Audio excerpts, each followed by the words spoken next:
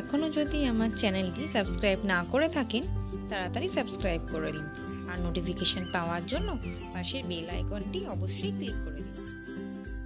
আজ নিয়ে চলে এসেছি খুবই ঘরোয়া একটি খুব সাধারণ রান্না, যা হয়তো অনেকের কাছেই নতুন। আজ বানাবো ফুলকপির ডাটার ভর্তা। তো দেখে নেওয়া যাক কী কীভাবে তৈরি করা যায় এটা। প্রথমে ফুলকপির ডাঁটিগুলোকে খুব সরু সরু করে এভাবে কেটে নিতে হবে। যাতে খুব সহজেই এটা সিদ্ধ হয়ে যায়।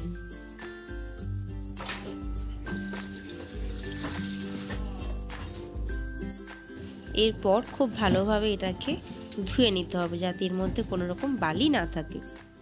খুব ভালো করে ধোয়ার পর এটাকে আমরা একটু সেদ্ধ করতে বসাবো। খুব সামান্য সেদ্ধ করলেই এটা হয়ে যাবে। আর এর মধ্যে সামান্য নুন আমরা দিয়ে দেব।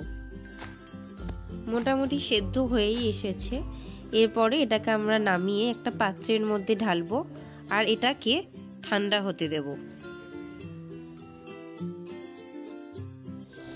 এরপর একটি পাত্রে একটু কালো জিরা নিয়ে এটাকে টেলে নিতে হবে। ডাটাগুলি ঠান্ডা হয়ে যাওয়ার পর একটি মিক্সির বাটির মধ্যে এগুলোকে দিয়ে দেবো আর একে একে দিয়ে দেবো রসুন, কাঁচা লঙ্কা ও টেলে রাখা কালো জিরাটা। আর এরপর দিয়ে দেবো স্বাদ মতো নুন।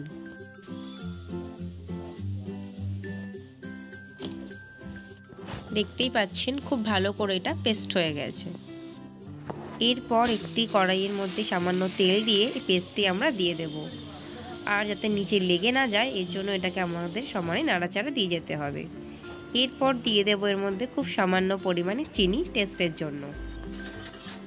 এটি প্রায় হয়েই এসছে, আগের থেকে অনেকটাই এটা শুকিয়ে গেছে। আর খুব কম সময়ে আমাদের তৈরি হয়ে গেল ফুলকপি ডাটার ভর্তা। গরম ভাতের সাথে এরকম একটা রেসিপি হলে আর কি চাই?